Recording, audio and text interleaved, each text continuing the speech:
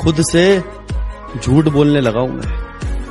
खुद से झूठ बोलने लगा हूँ मैं, मुझे सच्चा मत समझना। वफा की राह में धोखा खाया है मैंने, मुझे बच्चा मत समझना। कि क्या कहा? आना है। माफ़ कीजिएगा मोहतरमा। अब मुझे अपना फ्यूचर बनाना